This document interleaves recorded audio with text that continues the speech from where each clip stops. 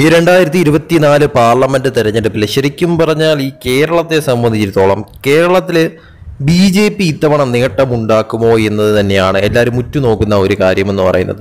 അതുതന്നെയാണ് ഈ പറയുന്ന കോൺഗ്രസും അതുപോലെ തന്നെ എൽ ഡി എഫും ഒരുപോലെ പേടിക്കുന്ന ഒരു കാര്യമെന്ന് പറയുന്നതും. കാരണം ബി ജെ പിക്ക് ഇത്തവണ കേരളത്തിൽ അക്കൗണ്ട് തുറക്കാൻ സാധിക്കുമോ? പല സർവേകളും അതായത് മുൻപെങ്ങും കാണാത്ത തരത്തിലുള്ള പല സർവേകൾ നോക്കുമ്പോഴത്തേക്കും അതായത് ദേശീയ സർവേകൾ പോലും ദേശീയ ചാനൽ നൽകുന്ന സർവേകളിൽ പോലും ബി ജെ പി ഇത്തവണ അക്കൗണ്ട് തുറക്കുമെന്ന് തന്നെയാണ് അതിൽ പറയുന്നത്. കാരണം ബി ജെ പി ഒരു സീറ്റല്ല അവർ കൊടുക്കുന്നത്. ബി ജെ പി അക്കൗണ്ട് തുറക്കുമെന്നുമല്ല ബി ജെ പിക്ക് രണ്ട് സീറ്റുകൾ അതായത് മിക്ക ദേശീയ ചാനൽ സർവേയിലും പറയുന്നത് ബി ജെ പി രണ്ട് സീറ്റുകൾ ഇത്തവണ നേടുമെന്ന് തന്നെയാണ്.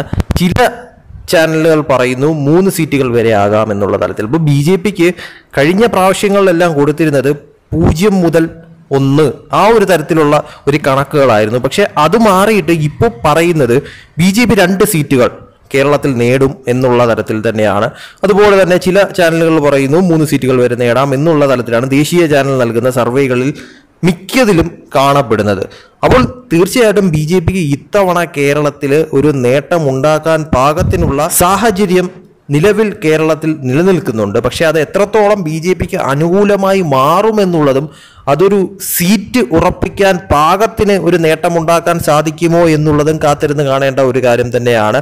ഒന്നുറപ്പാണ് ബി ജെ പിക്ക് ഇത്തവണ ഒരു വലിയ വോട്ട് ഷെയർ ഉണ്ടാക്കിയെടുക്കാനായിട്ട് ചിലപ്പോൾ കേരളത്തിൽ സാധിച്ചെന്ന് വരും. അത് സീറ്റുകളാക്കി ഉയർത്താനായിട്ട് ബി ജെ പിക്ക് സാധിച്ചു കഴിഞ്ഞാൽ അതൊരു വലിയ നേട്ടം തന്നെയാണ്. കാരണം രണ്ടല്ല മൂന്നല്ല ഒരു സീറ്റ് നേടിയാൽ പോലും അത് ഇവിടെ വലിയൊരു അട്ടിമറി വിജയം തന്നെയാണെന്ന കാര്യത്തിൽ സംശയമില്ല. അത് യു ഡി എഫിനും എൽ ഡി എഫിനും ഒരുപോലെ തിരിച്ചടിയാകുന്ന ഒരു കാര്യം തന്നെയാണ്. നിലവിൽ ഈ രണ്ട് സീറ്റുകൾ പറയുന്നത് പോലും തിരുവനന്തപുരം അതുപോലെ തന്നെ തൃശ്ശൂർ തന്നെയാണ് ഏറ്റവും കൂടുതൽ ബി ജെ പിക്ക് ചാൻസ് നിലനിൽക്കുന്ന സ്ഥലവും. ബി ജെ പി തന്നെ വളരെ വലിയൊരു വിജയ സാധ്യത ബി ജെ പി തന്നെ നിലനിർത്തുന്ന സ്ഥലങ്ങൾ തന്നെയാണ് ഈ പറയുന്ന തിരുവനന്തപുരവും അതുപോലെ തന്നെ തൃശ്ശൂർ എന്ന് പറയുന്ന സ്ഥലവും. അപ്പോൾ ഇത് കഴിഞ്ഞിട്ട് ബി ജെ പിക്ക് ഒരു വിജയ സാധ്യത അവർ തന്നെ പറയുന്ന സ്ഥലമെന്ന് പറയുന്നത് ആറ്റിങ്ങൽ ഒരു ത്രികോണ പോരാട്ടം നടക്കുന്ന ഒരു സ്ഥലം തന്നെയാണ്. അതോടൊപ്പം തന്നെ പത്തനംതിട്ട. പത്തനംതിട്ടയായാലും ഒരു ത്രികോണ പോരാട്ടം തന്നെയാണ് അവിടെ നടക്കാൻ പോകുന്നത്. ബി ജെ പിക്ക് വലിയൊരു വോട്ട് ഷെയർ ഉള്ള ഒരു സ്ഥലം കൂടിയാണ് പത്തനംതിട്ട എന്ന് പറയുന്നത്. അതോടൊപ്പം തന്നെ ബി ജെ പിക്ക് പിന്നെ പറയുന്ന സ്ഥലം എന്ന് പറയുന്നത് പാലക്കാടാണ്. പാലക്കാടും അതുപോലെ തന്നെ ശോഭാ സുരേന്ദ്രൻ മത്സരിക്കുന്ന ആലപ്പുഴയും ഒരു നല്ലൊരു പോരാട്ടം അവിടെ നടക്കാനായിട്ടുള്ള എല്ലാ സാധ്യതയും തെളിയുന്നുണ്ട്. അതുകൊണ്ട് തന്നെ ഈ ആറ് മണ്ഡലങ്ങളാണ് ബി ജെ പി ഏറ്റവും കൂടുതൽ പ്രതീക്ഷ വയ്ക്കുന്ന സ്ഥലങ്ങൾ എന്ന് പറയുന്നതും അതിൽ തന്നെയാണ് ഈ പറയുന്ന തിരുവനന്തപുരവും തൃശ്ശൂരും ഏറ്റവും കൂടുതൽ ജയിക്കാനായിട്ട് സാധ്യത കൽപ്പിക്കുന്ന സ്ഥലങ്ങളെന്ന് പറയുന്നത്. അപ്പോൾ എന്തായാലും ഒരു വലിയ ത്രികോണ പോരാട്ടം തന്നെ ഈ ആറ് സ്ഥലങ്ങളിൽ നടക്കുമെന്ന കാര്യത്തിൽ സംശയമില്ല. ഇതിൽ എത്ര സീറ്റുകൾ ബി ജെ പി നേടിയെടുക്കും? അല്ലെങ്കിൽ ബി ജെ പിക്ക് ഇത്തവണ ഈ ഒരു ആറ് സ്ഥലങ്ങളിൽ ഏതെങ്കിലും സീറ്റുകൾ ബി ജെ പിക്ക് ഇത്തവണ കിട്ടുമോ എന്നുള്ളത് തന്നെയാണ് ഒരു ചോദ്യം എന്ന് പറയുന്നത്. കാരണം കേരളത്തിൽ ഇപ്രാവശ്യം എന്തായാലും മോദി തരംഗം അത് എഫക്റ്റ് ചെയ്യുമോ എന്നുള്ളത് തന്നെയാണ് കാത്തിരുന്ന് കാണേണ്ടത്. കാരണം രണ്ടായിരത്തി ഇരുപത്തിനാലിൽ മോദി തന്നെ വീണ്ടും അധികാരത്തിൽ എത്തുമെന്ന് ഉറപ്പായതോടുകൂടി അത് കേരളത്തിലെ ജനങ്ങൾക്കും മനസ്സിലായതോടുകൂടി അത് ബി ജെ പിക്ക് സീറ്റുകളായി മാറ്റിയെടുക്കാൻ സാധിക്കുമോ? അനുകൂലമായിട്ട് അത് മാറാനായിട്ടുള്ള സാധ്യത കേരളത്തിൽ നിലനിൽക്കുന്നുണ്ടോ എന്നത് തന്നെയാണ് കാത്തിരുന്ന് കാണേണ്ട ഒരു കാര്യം എന്ന് പറയുന്നത്. എന്തായാലും മോദിയുടെ വരവ് കേരളത്തിൽ ആ ഒരു തരത്തിൽ ജനങ്ങൾക്കിടയിൽ ഒരു ഓളമുണ്ടാക്കിയിട്ടുണ്ട് എന്നുള്ളത് യാഥാർത്ഥ്യ ഒരു കാര്യം തന്നെയാണ്.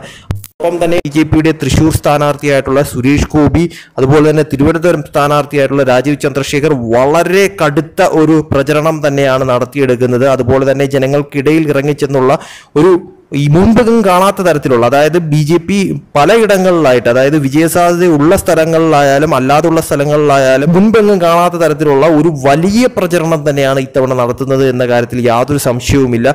അതുതന്നെയാണ് അവർക്ക് ആ ഒരു തരത്തിൽ ഒരു പ്രതീക്ഷ നൽകുന്ന ഒരു കാര്യമെന്ന് പറയുന്നത്. കാരണം താഴെ തട്ടിൽ നിന്നുകൊണ്ട് തന്നെ ആ ഒരു തരത്തിലുള്ള പ്രചരണങ്ങൾ ജനങ്ങളിലേക്ക് എല്ലാ ജനങ്ങളിലേക്കും എത്തിപ്പെടാനായിട്ടുള്ള ഒരു ശ്രമം തന്നെയാണ് ബി ഇത്തവണ നടത്തുന്ന ഒരു പ്രചരണം എന്ന് പറയുന്നത് തൃശ്ശൂരിലും അതുപോലെ തന്നെ തിരുവനന്തപുരത്തും ഒക്കെ വളരെ വലിയ തോതിൽ കാണപ്പെടുന്ന ഒരു കാര്യം തന്നെയാണ്.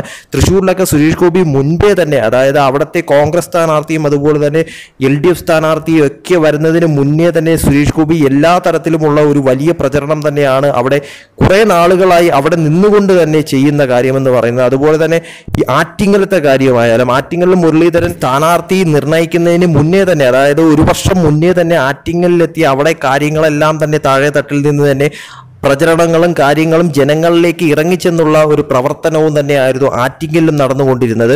ഇനിയിപ്പോൾ തിരുവനന്തപുരത്തേക്ക് വരുമ്പോൾ തിരുവനന്തപുരത്ത് ഈ ചുരുങ്ങിയ ദിവസങ്ങൾ കൊണ്ടാണ് രാജീവ് ചന്ദ്രശേഖർ അവിടെ എത്തിയെങ്കിൽ പോലും രാജീവ് ചന്ദ്രശേഖരന്റെ സ്ഥാനാർത്ഥിത്വം ആ ഒരു തരത്തിൽ തീരുമാനിക്കുന്നതിന് മുന്നേ തന്നെ അവിടെ ഒരു വലിയ ഒരു പ്രചരണ രീതികൾ ഒരു പ്ലാൻ തന്നെ അവിടെ രാജീവ് ചന്ദ്രശേഖരന് വേണ്ടിയിട്ട് അവിടെ ബി ജെ പി തയ്യാറാക്കി കഴിഞ്ഞു എന്നുള്ളത് വാസ്തവം തന്നെയാണ്. അത് തീർച്ചയായിട്ടും രാജീവ് ചന്ദ്രശേഖർ അവിടെ വന്നതിന് ശേഷം അത് വളരെ ഫലപ്രദമായി തന്നെ ഉപയോഗപ്പെടുത്താനായിട്ട് ബി ജെ പിക്ക് സാധ്യമാകുന്നു എന്നത് കാണാൻ സാധിക്കുന്ന ഒരു കാര്യം തന്നെയാണ്. എന്തായാലും കാത്തിരുന്ന് കാണേണ്ട ഒരു കാര്യം തന്നെയാണ് ബി ജെ പി ഇത്തവണ നേട്ടം കൊയ്യുമോ? ഈ പറയുന്ന ദേശീയ സർവേകൾ പറയുന്ന പോലെ തന്നെ ബി ജെ പിക്ക് ഇത്തവണ അവിടെ ഉറപ്പായിട്ടും കേരളത്തിൽ അക്കൗണ്ട് തുറക്കാൻ സാധിക്കുമോ? രണ്ട് സീറ്റുകളോ അല്ലെങ്കിൽ മൂന്ന് സീറ്റുകളോ അല്ലെങ്കിൽ ഒരു സീറ്റെങ്കിലും ബി ജെ പിക്ക് ഇത്തവണ ഇവിടെ നിന്ന് നേടാൻ സാധിച്ചു കഴിഞ്ഞാൽ അത് ഉറപ്പായിട്ടും ഈ പറയുന്ന എൽ ഡി എഫിനും യു ഡി എഫിനും ഒരുപോലെ തിരിച്ചടിയാകുമെന്ന കാര്യത്തിലും സംശയമില്ല. അത് വലിയൊരു അട്ടിമറിയായിട്ട് കേരളത്തിൽ മാറുമെന്ന കാര്യവും ഉറപ്പായിട്ടുള്ളൊരു കാര്യമാണ്.